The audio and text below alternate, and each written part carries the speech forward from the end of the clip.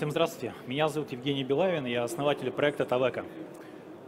А, с чего бы я хотел начать? А, чтобы было понятно, чем мы занимаемся, я хочу вам рассказать одну историю короткую. Это Убах Батлер, он журналист. Он часто занимался тем, что писал а, отзывы о ресторанах. При этом сами рестораны Убах не посещал, а отзывы просто придумывал.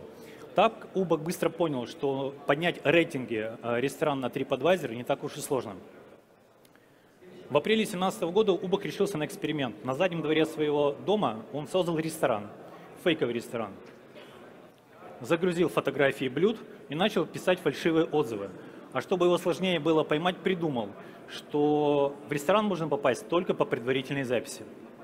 Так ресторан Убаха начал свой путь с 18 149 места среди лучших заведений Лондона. А, кстати, фотографии, которые он загрузил, к реальной кухне не имели никакого отношения. А в приготовлении блюд он использовал ватные диски, пену для бритья, краску, и вот на нижней фотографии это его личная нога. Удивительно, но только с помощью фейковых отзывов за полгода ресторан Убаха занял первое место среди лучших заведений Лондона. А вот еще некоторые факты про отзывы. Сегодня 95% покупателей, прежде чем сделать покупку, неважно, в интернете она или нет, читают отзывы в интернете. 73% выбирают продавца только на основании положительных отзывов. Половина не пользуется услугами бизнеса, пока не увидит э, хотя бы 4 звезды. И 70% э, покупателей верят отзывам в интернете больше, чем собственникам, родственникам. Это невероятные цифры, и с каждым годом эти цифры только растут. А сегодня рынок отзывов, он большой. А сегодня мы выделяем двух лидеров. Это американская компания Yelp – а, на, ней в месяц посетителей от 150 до 180 миллионов человек, это больше, чем население нашей страны. В Китае это порядка 250 миллионов человек и капитализация безумная, 50 миллиардов в Китае и 4 миллиарда 180 миллионов у Yelp в Америке. Даже у такого большого рынка существуют свои проблемы. Э, мы выделяем их четыре. Проблема номер один – это заказ положительных отзывов при проведении маркетинговых кампаний. Что это значит? Когда бизнес, а бизнес знает, что отзывы сегодня – это сильный драйвер для покупок, сильный драйвер для привлечения клиентов. И он э, нанимает специальных журналистов, нанимает специальные компании, которые пишут отзывы в интернете. И сегодня 10 отзывов, которые в интернете вы прочтете, 7 из них – это не настоящие, это нереальный опыт и мы считаем, что это большая проблема. Проблема номер два. А, если вы решили почитать отзывы, сегодня не существует ни одного программного обеспечения, которое бы вам сказало, вот этот отзыв настоящий, а этот отзыв не настоящий. И у потребителя нет возможности реально оценить, реально это хороший бизнес, реально это хорошее качество товара или услуги. Третье – это высокая децентрализация. В интернете много где можно написать отзывы. Это и специальные форумы, это социальные сети, это различные э, отзывные площадки. Но сегодня человек не хочет ходить по отзывным площадкам, он хочет получить все в одном месте. И четвертое, мое любимое, это удаление негативных отзывов. Если бизнес делает что-то неправильно, если на меня завтра разлили суп в ресторане, я иду, пишу на отзывной площадке, что там разливают суп – то бизнес или отзывная площадка сделают все для того, чтобы этот негативный отзыв был удален. И мы считаем, что это большая проблема. Если я хочу поужинать в ресторане или воспользоваться каким-то товаром, я хочу посмотреть реальную ситуацию, а не то, э, какая она существует с точки зрения бизнеса. Я не хочу, чтобы ничего чистили. Я хочу увидеть правду. И на сегодняшний день ни одна из этих четырех проблем не решена. Что предлагаем мы? А если сказать тезисно, Тавека – это единая платформа отзывов с интернета, основанная на э, искусственном интеллекте и технологии блокчейн. Сейчас я расшифрую, что это значит. Первое. А, задача искусственного интеллекта номер один – это поиск текста со всего интернета с упоминанием о компании и определение, является данный текст отзывом или не является. Более простыми словами. А, искусственный интеллект номер один – это, по сути, по своей агрегатор – его задача через себя пропустить весь текст и найти в этом тексте упоминание компании. Возьмем, допустим, э, ВДНХ. Если э, в интернете э, агрегатор видит текст, в котором есть упоминание о ВДНХ, там может быть и рекламный текст, это может быть статья, это может быть, ну, инструкция по применению, наверное, нет. какое-то коммерческое предложение по размещению здесь. И его задача на этом этапе понять, это отзыв или нет. Если искусственный интеллект понимает, что данный текст отзыв, он его просто копирует и помещает на нашу платформу. Так он делает с социальных сетей, с отзывных площадок, с различных э, специализированных и неспециализированных формах. Что получается? Получается, что да, скопировал и вставил. Получается, что на, э, первое, что мы сделаем, это соберем все отзывы из интернета и разместим их у себя на платформе. Пользователю не нужно не будет нигде искать. Вторая задача. Вторая задача искусственного интеллекта – это уже работа непосредственно с отзывом. А, его а, задача на этом этапе понять, а является ли данный отзыв настоящим или он не настоящий. А, он смотрит по различным критериям. Это структура текста, содержание, слова, различные метаданные, где он был размещен, сколько этим человеком было размещено данных. Все это уже сегодня реализовано, все это уже сегодня есть. И задача на этом этапе определить, настоящий отзыв или не настоящий. Если отзыв настоящий, он его промаркирует как рекомендованный. Если отзыв не настоящий, он э, промаркирует его как нерекомендованный. Что получится на выходе?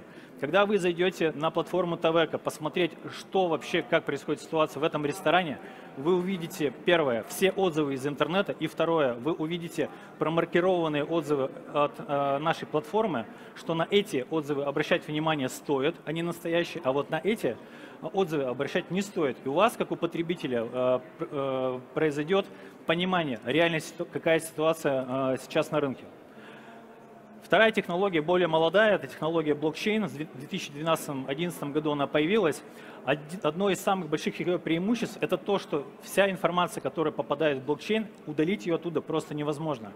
И мы с помощью технологии блокчейн заборем четвертую проблему удаления – если пользователь напишет э, отзыв на нашей платформе, уже ни пользователь, ни платформа, ни бизнес никак э, удалить оттуда не сможет. И это даст гарантию того, что придя на нашу платформу, вы увидите все, как есть на самом деле. И эти четыре проблемы мы решим. Первые две проблемы мы решаем с помощью маркера, настоящий отзыв, не настоящий. Третья проблема с помощью агрегатора. Агрегаторов сейчас большое количество. Это Aviasales. Э, вы просто Просто забиваете страну, куда хотите полететь, агрегатор вам показывает, э, какие компании что предлагают. Это есть и в кулинарии, это есть и в гостинице. Агрегаторов много. Сегодня агрегатора в отзывных площадок его просто не существует. И четвертую проблему удаления мы, конечно, решим с помощью технологии блокчейн. На чем конкретно будет зарабатывать наша платформа? Так, также на четырех вещах. Первое – это э, доступ в личный кабинет. Бизнес может посмотреть, что про него пишут. Но если я ресторану задам вопрос, на который я захочу получить ответ, бизнесу придется пройти регистрацию, и тогда у него появится эта возможность. За это мы будем брать деньги. Второе. Реклама на портале. Тут, тут ничего сложного. Наверное, все были на площадках Авито, Яндекс, Google, вы это видели. Сверху реклама, справа реклама. Ничего удивительного. Третье. Продажи на платформе. А, если вы а, посмотрели товар или услугу на нашей платформе и захотели воспользоваться, купить сразу, вам не обязательно идти на MVideo, не обязательно заходить на сайт Большого театра, вы сразу у нас сможете это сделать. А, данное решение уже реально реализовано на китайском Meituan Dianping. Тут мы тоже ничего особого не придумываем. А, тема рабочая. Ну и четвертое – это продажа глубокой аналитики. Это очень важный момент. А, если бизнес видит, откуда, откуда пишут больше какие отзывы, положительные, негативные, это все прекрасно. Но бизнес хочет знать больше. А если в прошлом месяце или в прошлом году, в этом квартале про бизнес написали 100 отзывов и 10 из них было негативные, а в этом году написали 500 отзывов и 250 негативных, у бизнеса возникнет вопрос, это проблема в нас, что-то мы делаем неправильно или это заказ конкурента? то мы сможем показать э, с помощью аналитики, какая активность в этот момент рекламная была у конкурентов, и быть может, что что-то реально какая-то есть проблема у самого бизнеса. А, начали мы а, свой проект презентовать 26 сентября, это была конференция Forbes. Мы съездили на Мальту, съездили в Швейцарию, презентовали проект на зарубежной публике, у нас очень положительная обратная связь. 16 числа на прошлой неделе мы презентовали демо-версию, сегодня, собственно говоря, мы на ВДНХ рассказываем. Наши следующие планы. А, в ноябре мы начнем работать уже с реальным бизнесом, поедем в Южную Корею, поедем в Эмираты, будем презентовать уже на азиатский регион и на Ближний Восток. И наша задача к концу года открыть 8 представительств. Для нас самый приоритетный регион это Индия, это Африка, Ближний Восток и э, Латинская Америка, конечно. Китай, Китай, Америка, Россия для нас не, не сильный приоритет. Сегодня в нашей команде порядка 16 человек. В нее входят э, программисты и по машинному обучению, и по э, безопаснике. Ну, frontend, backend тут объяснять, в принципе, ничего не нужно, это само собой разумеющееся. Э, наш технический директор э, принимал участие в разработке онлайн-дневника. Тот самый дневник электронный, которым, в принципе, если вы родитель, все мы сейчас пользуемся в Москве. Э, на этом свою короткую презентацию заканчиваю. Если есть вопросы, готов на них ответить. Большое спасибо. Пожалуйста, какое значение вы вкладываете в термин искусственный интеллект? Какое значение? А, ну, может быть, ну, на самом деле искусственный интеллект и machine learning, машинное обучение – это близкие фразы, но на самом деле они различаются. Да, поэтому э, гораздо более правильно сказать – это machine learning, однозначно. Спасибо. Да, работа с большими данными и обучение машины, конечно. Э, Евгений, вопрос такой. Э, вы достаточно подробно осветили о тех э, опасностях, которые ждут, ну, как бы, на просторах интернета, да, ложные, неложные, подлинные, неподлинные отзывы. И ваша система достаточно, э, как бы, адекватно отсеивает их, да? Так, теперь вот вопрос в чем? Насколько будет организована система собственной безопасности вашей платформы от написания уже на, ну, на, на вашей платформе тех же самых ложных, заказных отзывов и э, ну, как бы добросовестность э, ваших сотрудников, которые могли бы включить э, в искусственный интеллект человеческий фактор. Спасибо. Интересный вопрос. А, на самом деле специалисты по безопасности у нас есть, их двое. Это ребятами их я не назову, у них опыт работы 20 лет. 20 лет, и это по большой части это банковская сфера, там с защитой данными у нас есть понимание, что нам делать и как нам защитить. Что касается добросовестности э, сотрудников, можно немножко раскрыть вопрос? Э, вот вы э, во вступлении указали, что очень много на просторах интернета ложных отзывов и людей, которые Э, по заказу формирует общественное мнение. Да.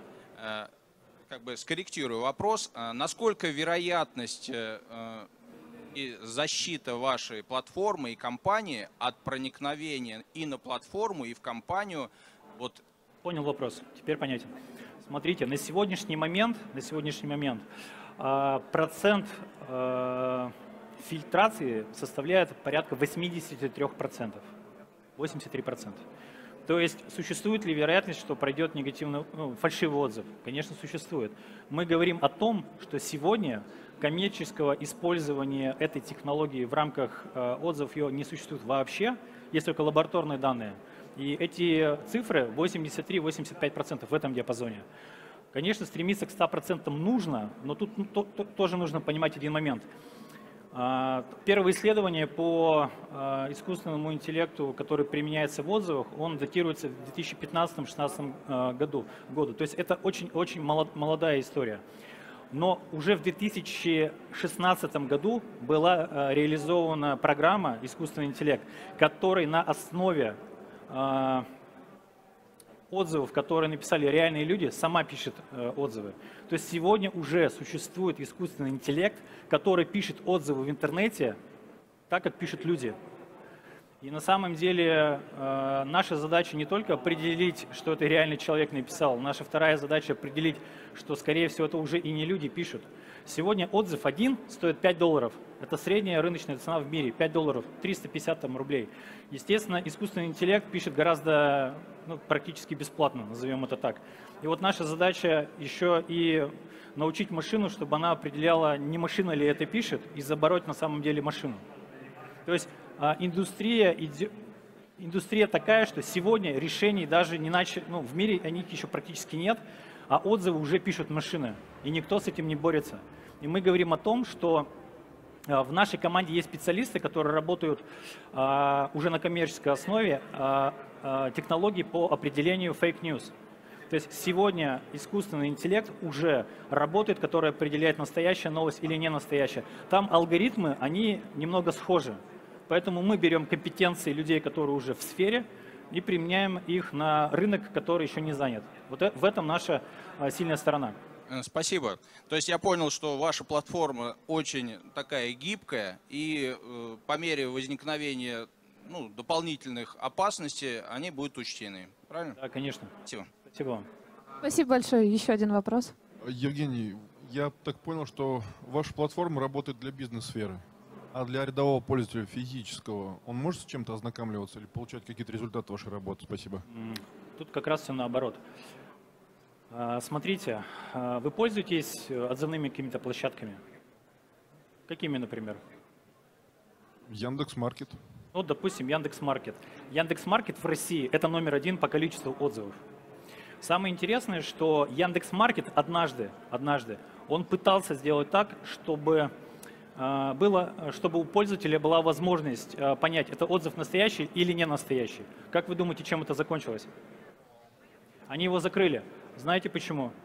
Но если я Яндекс и буду говорить пользователю, что этот магазин накручивает себе отзывы, то зачем магазину э, размещаться на Яндексе? Они начали пилить сук, на котором сами сидят. И они от этой истории отказались. Яндекс не будет сам себе конкурентом. Google, Amazon, сейчас те компании, э, те ребята, которые делали реальные научные исследования, их покупают большие. Один из э, исследователей, я сейчас могу ошибиться, по-моему, Фонтанарава. Это испанский исследователь, который э, один из первых начал смотреть на проблематику отзывов. Его купил, по-моему, Amazon. И эта история закончилась. Потому что бизнесу невыгодно. Если я завтра захочу полететь э, и заказать э, гостиницу э, ну, или, в или покушать TripAdvisor, TripAdvisor невыгодно, чтобы я показал, что все отзывы, которые существуют, они не настоящие. Это в первую очередь для вас, для меня, а уже вторую очередь для бизнеса. Для бизнеса это что? Для бизнеса это трафик. То есть мы говорим о том, что мы соберем все отзывы в одном месте, а, мы сможем сделать так, чтобы люди к нам пришли, почитали, если им понравится, если вы реально хороший молодец, то к вам придут и воспользуются вашими товарами и услугами. Но по сути мы делаем платформу для рядовых пользователей. Спасибо.